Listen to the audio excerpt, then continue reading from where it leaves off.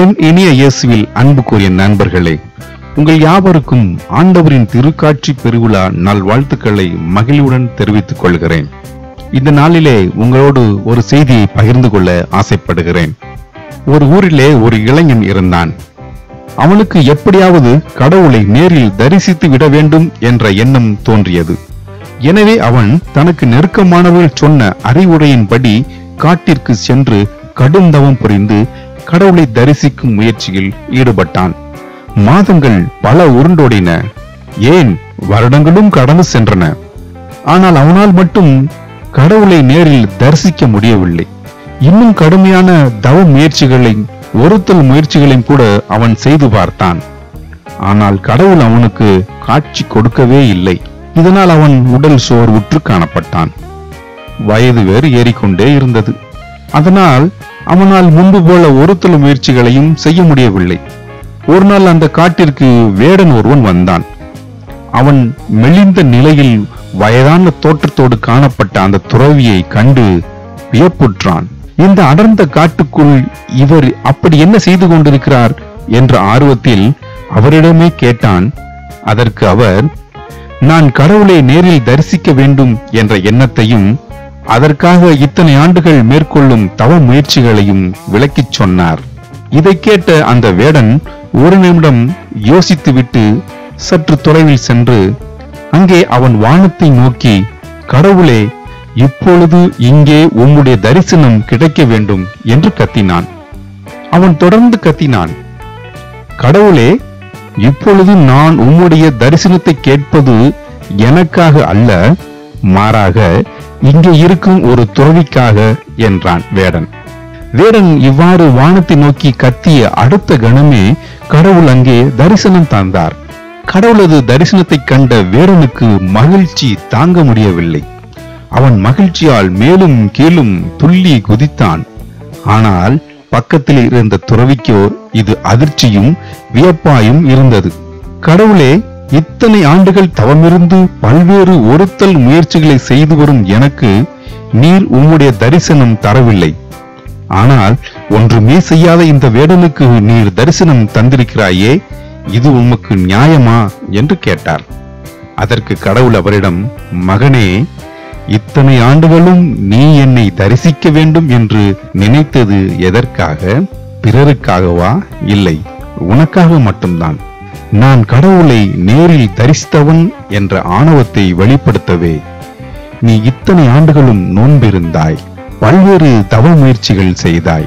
ஆனால் அந்த வேடனோ அப்படி இல்லை அவன் தனக்காக என்னுடைய தரிசனத்தை வேண்டவில்லை. உனக்காகத்தான் வேண்டினான். அதுவும் எளிய மனதோடு வேண்டினான். அதனால்தான் நான் அவனுக்கு தரிசனம் தந்தேன் என்றார். இதை கேட்ட துறவிக்கு தன்னுடைய தவறு புரிந்தது. கடவுளை நேர்மையான உள்ளத்தோடு தூய மனதோடு தேடுகின்ற போது அவருடைய தரிசனம் நமக்கு உண்டு என்ற உண்மையை இந்த கதையானது நமக்கு அருமையாக எடுத்து கூறுகிறது. இன்று நாம் ஆண்டவருடைய திருக்காட்சி பெருவிழாவை அதாவது மூன்று அரசர்களுடைய பெருவிழாவை கொண்டாடி மகிழ்கின்றோம்.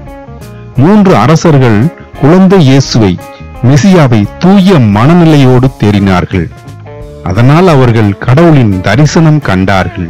இயேசுவை கொல்ல வேண்டும் அவரை அழிக்க வேண்டும் என்ற தீய எண்ணத்தோடு தேடிய ஏரோது மன்னனுக்கோ கடவுளின் தரிசனம் காண கிடைக்கவில்லை. மூன்று அரசர்கள் பெருவிழாவை கொண்டாடும் இந்நாளில் நாம் கடவுளை எந்த மனநிலையோடு தேட வேண்டும் என்பதனையும் திருக்காட்சி பெருவிழாவை கொண்டாடும் இந்த வேளையில் நாம் எதை தேடிச் செல்கிறோம் அல்லது கடவுளை எத்தகைய மனநிலையோடு தேடிச் செல்கிறோம்? என்று சிந்தித்து பார்க்க வேண்டும். இயேசு வாழ்ந்த காலத்தில் இருந்த மனிதர்கள் இயேசுவை பல காரணங்களுக்காக தேடிச் சென்றார்கள்.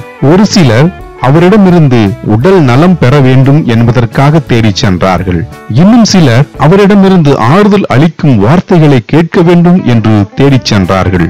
நிறைய மனிதர்கள் இயேசு மக்களுக்கு வயிறார உணவளிக்கிறார் என்பதற்காக தேடிச் சென்றார்கள். அத்தகைய மனிதர்கள் இயேசுவின் எச்சரிப்புக்கு உள்ளாகிறார்கள். நீங்கள் அரும் அடையாளங்களை கண்டதால் அல்ல மாறாக அப்பங்களை வயிறார உண்டதால் தான் என்னை தேடுகிறீர்கள் என்று இயேசு அவர்களை கடிந்து கொள்கிறார். ஆகவே நாம் கடவுளை எத்தகைய மனநிலையோடு தேடுகிறோம் என்று சிந்தித்து பார்க்க வேண்டும். பல நேரங்களில் நாம் கடவுளை தேடுவது அவரிடமிருந்து ஏதாவது ஆதாயம் பெறவும் நமது தேவைகளை பூர்த்தி செய்து கொள்வதற்கும் தான் என்று நினைக்கும் போது வேதனை அளிப்பதாக இருக்கின்றது. நீங்கள் முழு இதயத்தோடு என்னை தேடும்போது கண்டடைவீர்கள் என்று இறைமையா புத்தகம் இருபத்தி ஒன்பது பதிமூனில் வாசிக்கின்றோம். நீங்கள் முழு இதயத்தோடு என்னை தேடும் பொழுது கண்டடைவீர்கள் என்று. ஆகவே நாம் மூன்று அரசர்களைப் போன்று ஆண்டவரை முழு உள்ளத்தோடு முழு மனதோடு தேடுவோம். அதன் வழியாக அவரது தரிசனத்தை கண்டுகொள்வோம். திருக்காட்சி பெருவிழா நமக்கு உணர்த்தும் இன்னொரு உண்மை. கடவுள் எல்லாருக்கும் பொதுவானவர் என்பதாகும். ஒரு சில நாடுகளில் இவ்விழா புறவினத்தாருக்கான விழா என்று கொண்டாடப்படுகிறது. இதன் மூலம் கடவுள் யூதருக்கு மட்டுமல்ல எல்லாருக்கும் பொதுவானவர் என்ற உண்மையை வெளிப்படுத்துகின்றது. இறைவாக்கினர் ஏசையா புத்தகத்தில் எடுக்கப்பட்ட இன்றைய முதல் வாசகத்தில் பிற இனத்தார் உன் ஒளி நோக்கி வருவர் மன்னர் உன் உதய கதிர் நோக்கி நடைபோடுவர். பிற இனத்தாரின் சொத்துக்கள் உன்னை வந்தடையும் ஒட்டகங்களின் பெருந்திரல் உன்னை நிரப்பும் அவர்கள் ஆண்டவரின் புகழை எடுத்துரைப்பார்கள் என்று வாசிக்கின்றோம். ஆம். இறைவன் எல்லாருக்கும் பொதுவானவர் என்பதால் தான் அவரை நாட்டவரும் மொழி பேசுவோரும் தேடி வருகின்றனர் என்பதை இங்கே புரிந்து கொள்ள வேண்டும். எபேசியருக்கு எழுதப்பட்ட திருமுகத்தில் எடுக்கப்பட்ட இன்றைய இரண்டாம் வாசகத்தில் பவுலடியார் நற்செய்தியின் வழியாக பிற இனத்தாரும் கிறிஸ்து இயேசுவின் மூலம் உடன் உரிமையாளரும் வாக்குறுதியின் உடன் பங்காளிகளும் ஆகிறார்கள் என்றார்.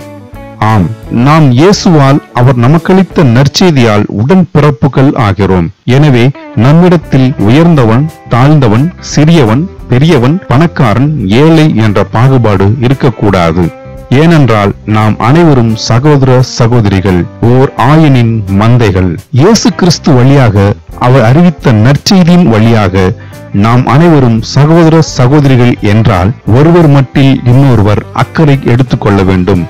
ஒருவரை பற்றிய கரிசனை அன்பு மற்றவருக்கு இருக்க வேண்டும். இல்லையென்றால் நாம் உடன்பிறப்புகள் என்று சொல்லிக் கொள்வதில் எவ்வித அர்த்தமும் இல்லை. ஒருவர் மற்றவருடைய சுமைகளை தாங்கிக் கொள்ளுங்கள். இவ்வாறு நீங்கள் கிறிஸ்துவின் சட்டத்தை நிறைவேற்றுங்கள் என்பார் தூய பவுல். கலாத்தியருக்கு எழுதிய திருமுகத்திலே ஆறு இரண்டிலே வாசிக்கின்றோம். ஆகவே கிறிஸ்தவர்களாகிய நாம் நமக்கு அடுத்திருப்பவர்கள் மட்டில் அதிக அன்பும் கரிசனையும் கொண்டு வாழ்வோம். திருக்காட்சி பெருவிழாவை கொண்டாடும் இவ்வேளையிலே ஆண்டவரை தூய உள்ளத்தோடும் தூய மனதோடும் தேடுவோம்.